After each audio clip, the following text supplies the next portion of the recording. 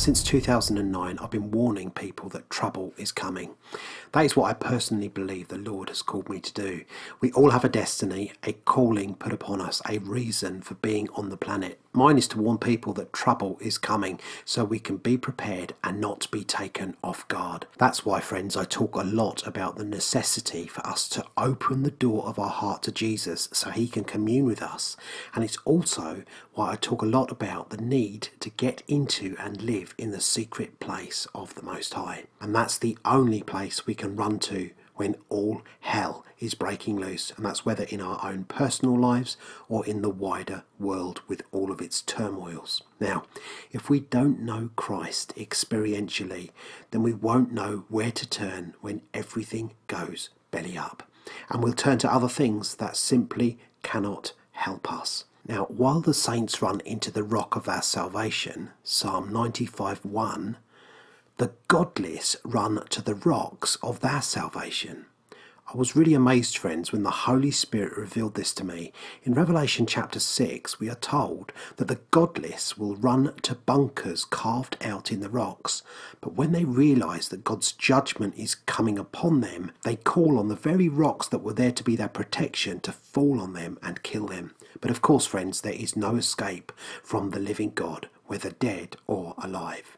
Now, it is interesting that the leaders and the wealthy elite will be in the number of those who run into these rocky hideouts. Let me just read from Revelation 6 12 to 17 here so you can get a picture of it. I watched as the Lamb broke the sixth seal and there was a great earthquake. The sun became as dark as black cloth, and the moon became as red as blood. Then the stars of the sky fell to the earth like green figs falling from a tree shaken by a strong wind. The sky was rolled up like a scroll, and all of the mountains and islands were moved from their places.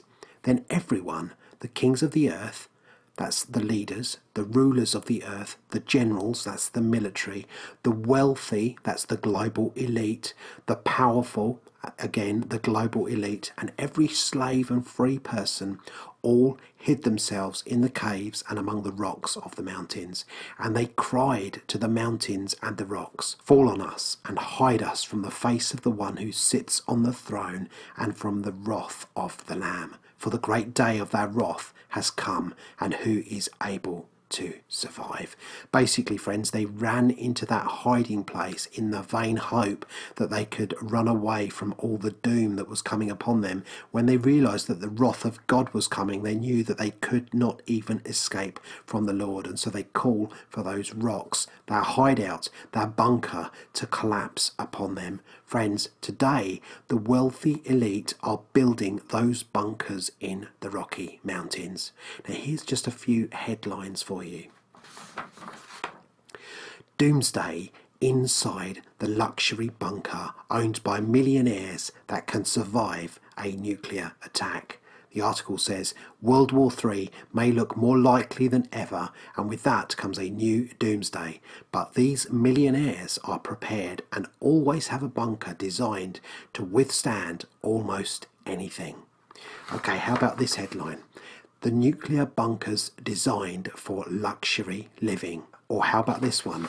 Creepy billionaire disaster bunkers cropping up in New Zealand. Do you have one? And again, finally, what about this one? Why is the US military moving back into Stargate base deep under the Rocky Mountains a decade after it was abandoned? The bunker is built under 2,000 feet of the Rocky Mountains and is able to withstand a hit by a 30 megaton nuclear blast. Now, I don't know about you, friend, but I want to have my confidence in the Lord. I don't want to be shaken and behave like the godless as though I don't have the Lord to turn to in times of trouble. And besides that, friends, I don't have the cash to build one of these bunkers to live in. Now, the Bible, friends, is becoming more and more relevant with each passing day, and this is why we as Christians should learn all about getting into God's bunker, getting into the rock of our salvation. Friends, who needs an earthly bunker when we have a heavenly one? Last week, I spoke about how Paul had learned the secret of living through hell and high water. He had basically learned how to live in the secret place, the rock of his salvation, his God bunker. Stephen, the first Christian martyr, saw his heavenly refuge, his bunker, so to speak, open up before him and welcome him in as his physical life on earth was being snuffed out. Friends, I pray that we will all learn this how to daily get into our God bunker.